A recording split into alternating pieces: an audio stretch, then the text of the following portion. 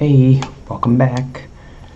So, the audio might be weird this week because I think I broke my microphone, my blue, the blue snowball that I've had for what, three years?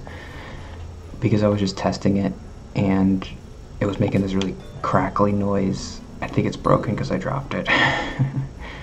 um, so I have to use the, the microphone on the camera, which I don't think is very good. So I don't know what's going to happen, but hopefully it's still watchable. Um, but those microphones are pretty cheap. I could just get another one. They're like $50. Um, yeah, I'm glad I'm playing Peggle. It's a little less stressful than Halo, so that's a good week to do that. Um, guess what? A lot more improv stuff this week. And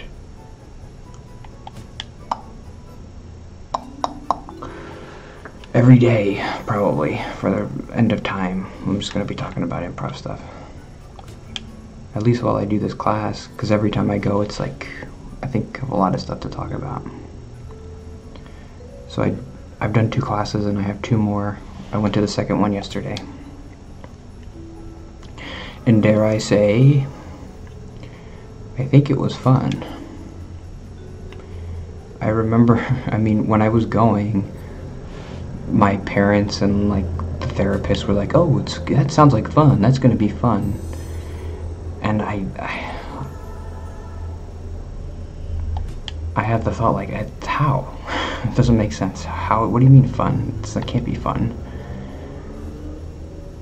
But it was fun to play like characters and stuff. So I guess I'll tell you what I did. Um, what was the best part? Uh, I liked so this week.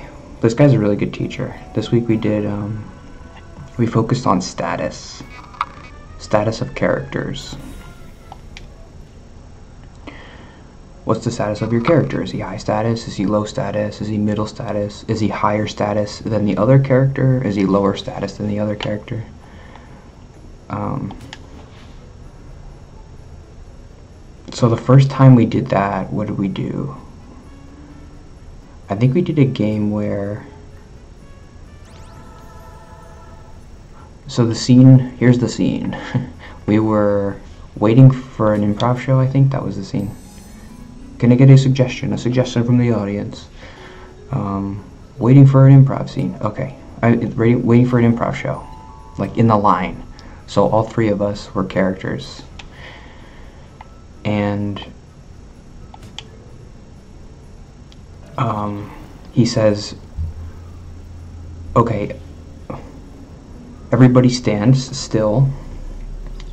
And on a scale from 1 to 10, imagine like your posture and how you're acting. Give yourself a number on what status you are like 1 being the lowest and 10 being the highest. And so I'm like I'm probably like a 3 or a 4 like low status. Like kind of slouchy or whatever. And so then he said okay now do this scene towards the other end of what you are so if you're low, go high. If you're high, go low. So I had to go high. And I thought, and I was proud of myself that I actually was able to do this. Um, I was like, I know what like high status, arrogant people do. I know what they do. So I could just, okay, just be that person. Just do what they would do. Um, and it and, and doing it in the scene gives you permission to do it because it's not me. I'm not doing it. So like i would never do this in real life because i kind of hate those people. But it's fun to play them. So right when the scene started i kind of i kind of strode up to the other guy and i went in for a big handshake and i was like hey steve how the hell are you um, and then Steve, I think, was doing a, another high status character. So he was like, "Yeah, I'm doing this show's gonna be amazing. I can't wait to get in there, and I'm gonna be yelling at people." and I I did a good job at first, but then I did start to get like more me towards like the end of it because I'm like, okay, I don't now I don't know what to do. so I just kind of fell back into myself. Um, so what else? Yeah, that's kind of what I did. I, I, I didn't do. I, I want to get more practice doing that kind of a character because it it felt interesting to be that person. Um, so I was like, yeah, I can't wait for this. Freaking show is gonna be amazing. And I was like trying to raise my voice and stand up straighter, like, ah. Oh, and then, so the the third girl was being a low status character, and she was kind of like hiding in the corner. And so after we were done talking, the other guy goes up to her, and he's like, um, he starts talking to her and she doesn't really say anything. And he's like hey what, what what's the matter with you? You all right? And then i went up to him and i was like hey what are you doing? You picking on her? That, that felt like fun. I don't know um, i did like that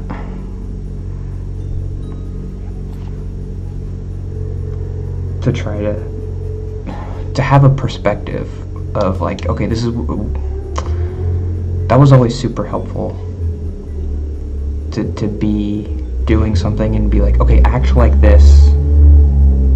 Whatever happens, like you're this kind of a person. You're the kind of person who's always going to be talking and finding a way to insert yourself and, and, and your opinions, and, and then you think you're amazing. We did one scene where um, we were in a grocery store and he was eating a pineapple. He's like, oh, I'm gonna eat this pineapple. And he was being a low status character. And then I came up and I was like, hey, that's look, that looks like a good pineapple. I'm gonna eat it. I'm gonna take it. Or can I have it or something? And then I took it. And I was like, yeah, I love pineapples. I grow a million pineapples in my pineapple orchard. I like and like being cocky and like like I knew everything. This level's hard.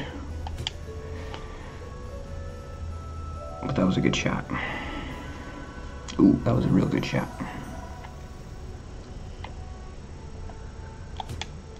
Ah. Um, but I kind of want to pace myself on this topic because I don't really have much else to. Well, I'm meeting somebody on Sunday, so I could talk about that too.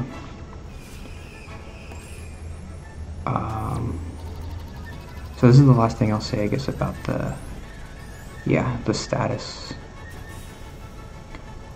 We played a game where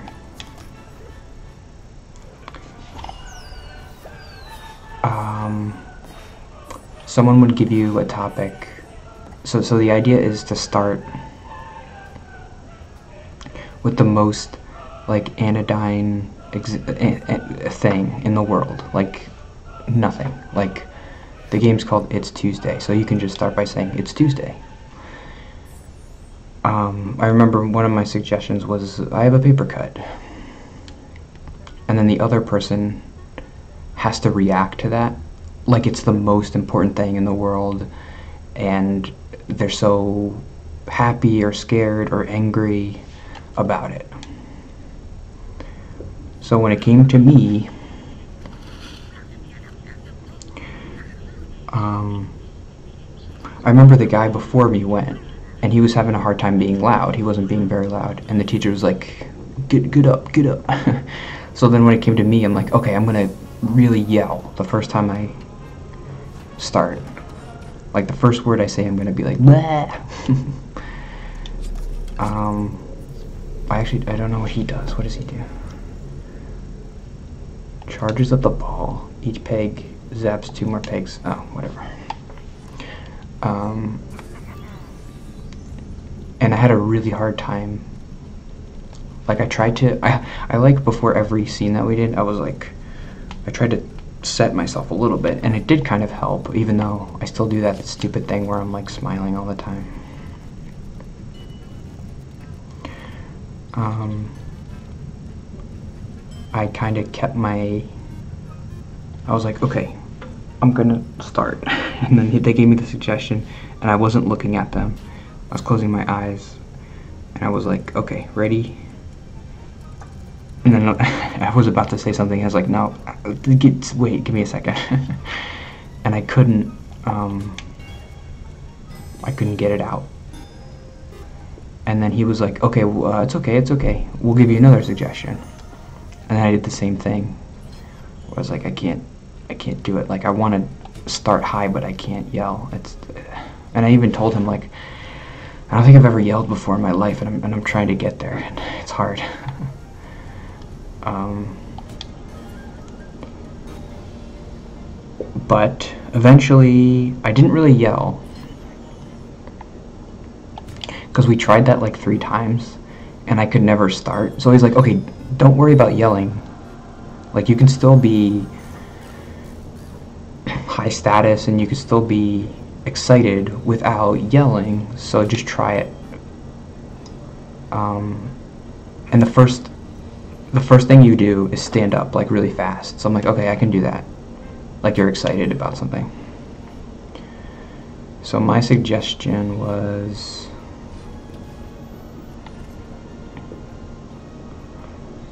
Um, and I felt like I did a decent, decent job. We did he was like, "Oh, these markers are really dry." So that was the the benign thing. And then I had to get like so I stood up and I was like, "Those markers are dry. I just bought them yesterday or something." um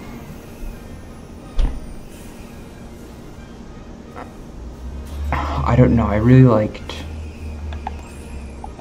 doing that and I was able to kind of get into it and not try to make jokes.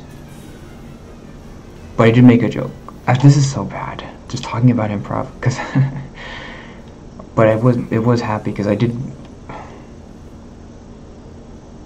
Yes, yeah, I made like three or four jokes that I thought were genuinely funny.